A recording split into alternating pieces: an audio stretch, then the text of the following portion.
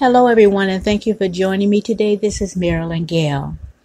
I'm going to just um, give you some quick information. I know that a lot of you guys know that coming back to America, uh, coming to America, I'm thinking of coming back to the future. Anyway, coming to America, it, it has a sequel. And I just want to let you know that Wesley Snipes will be in that movie, amongst other new people.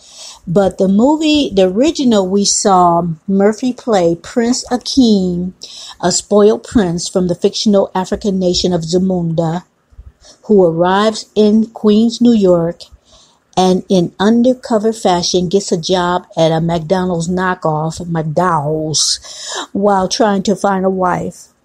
The news story sees Akeem returning to America in order to find his long lost son. Now, how are they going to do that? Where did this long lost son come from? Did he have an affair before he met his wife? Did his little son get kidnapped?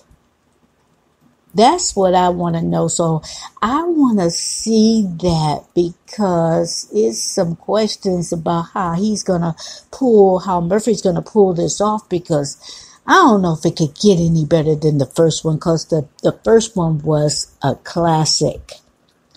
Okay, uh, the news story, uh, like I said, is, is, um, Akeem trying to find his long lost son.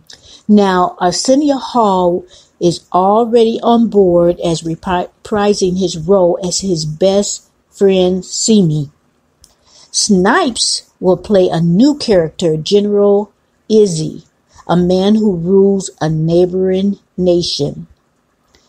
So that's going to be good. So I think it's going to be set uh, to be released in the fall. Uh, America Coming Back to America, the sequel, will represent a reteaming of Snipes with both Murphy and Brewer.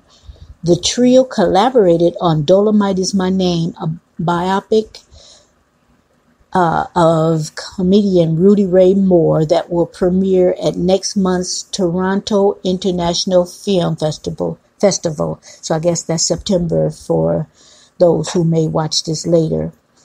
Now, Snipes, perhaps best known, he's best known for Blade, White Man Can't Jump, and New Jack City.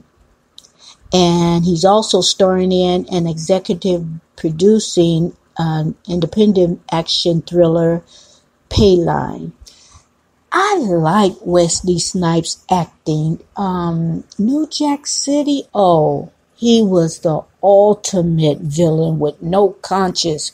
So, uh, and I, I didn't see all the series of Blade. I saw the first one, but I didn't see the, the, the sequels of Blade. So I'm sure that's on Netflix. But guys, I am excited to see this. I need a good comedy in my life. Is nothing, uh, more, is nothing better then uh, laughing. Laughing is good for the soul. Um, laughter will turn uh, your your attitude around. People with depression needs to see um, a, a good good comedy. I mean, laughter is uh, it is medicine. So that's what I wanted to bring to you guys. I just wanted to let you know that Wesley Snipes will be appearing with Eddie Murphy as uh, uh, a king in a neighboring uh, nation. I guess next to Zamunda. I wonder what they're gonna call that nation. Anyway, anyway, that's what I have for now. Thank you for joining me. Subscribe if you haven't already, and click that notification bell. And everyone have a good evening. Good night.